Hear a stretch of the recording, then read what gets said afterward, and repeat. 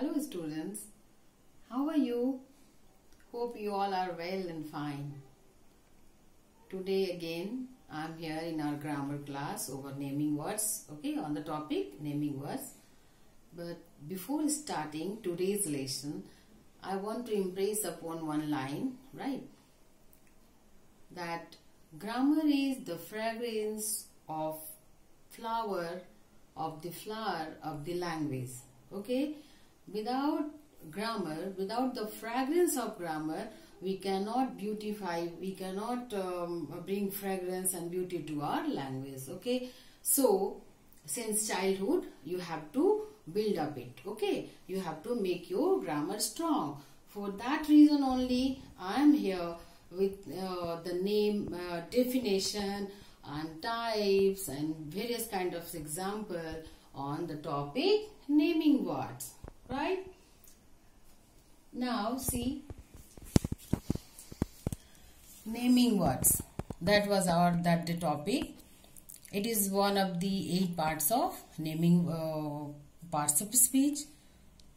See the definition of naming word. A noun is a word for a person place or thing.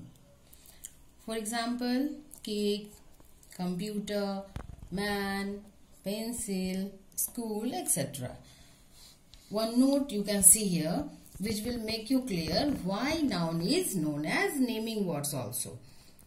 Everything we can see or talk about is represented by a word that names it. That's why a noun is also known as naming word. Okay, now it is clear to you why naming word is also why noun is also known as naming words right? Now move to types of noun. Here i have written it randomly children as you can see. But if we are going uh, rule wise so common noun comes at the first place then comes proper noun then comes collective noun after that abstract noun and at last it is material noun okay? Uh, what are the types of noun Pro common proper collective abstract and material. Okay?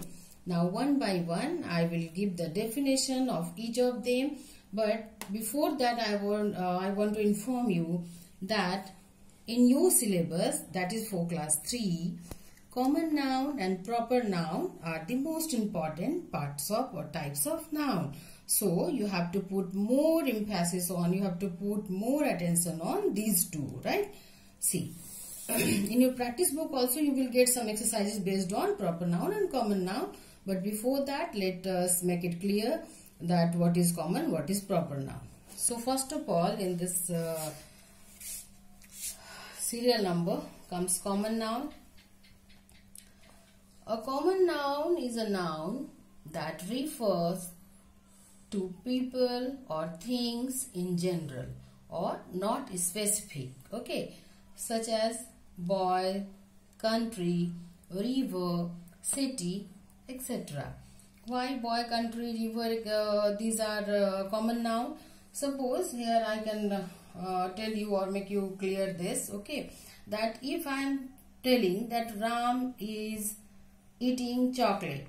Ram, it is the name of specific boy. Okay.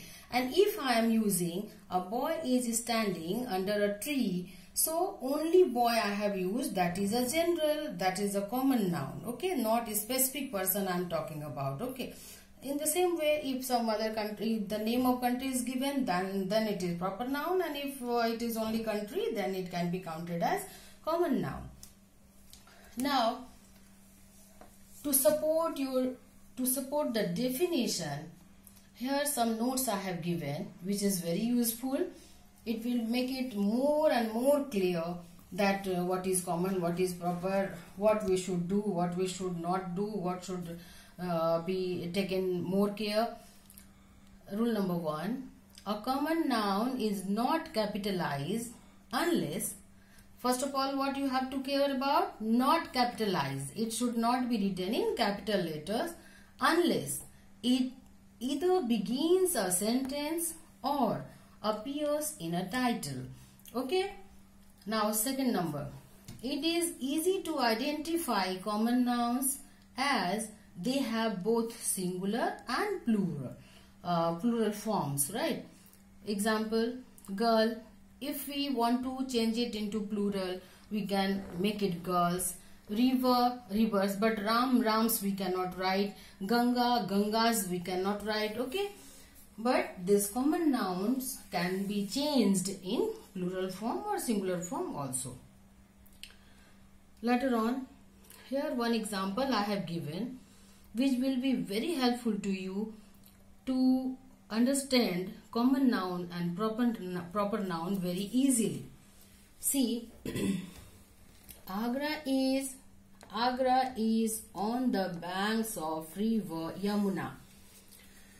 Agra and Yamuna are the names, okay, particular names, okay. Agra and Agra is the name of the city, Yamuna is the name of the river. So they are proper noun but only banks or river if it is written there so they are common noun okay? No specific some specification has not been shown here in these words. These are in general words these are general words in common so they are common noun.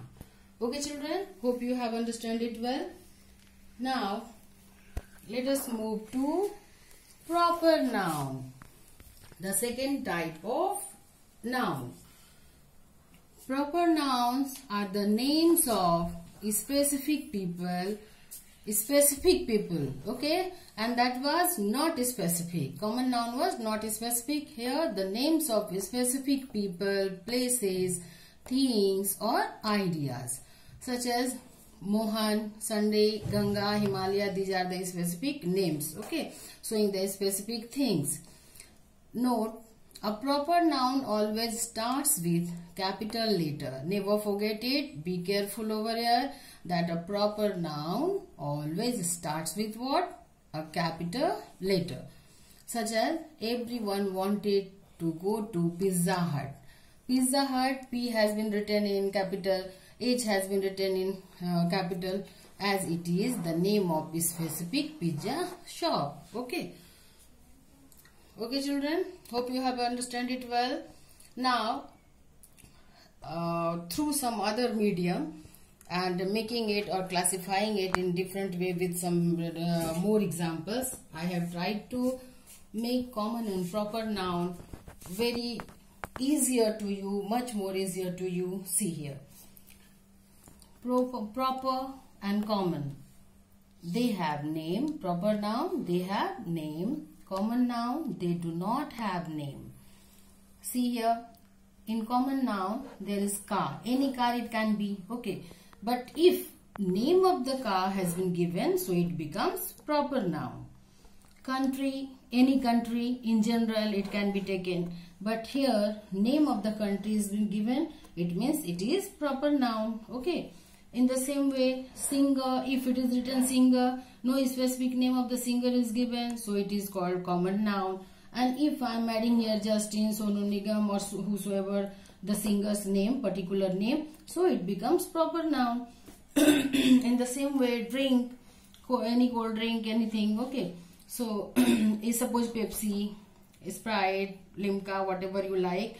So, it becomes, uh, if name is given, it becomes proper and if name is not given it becomes common.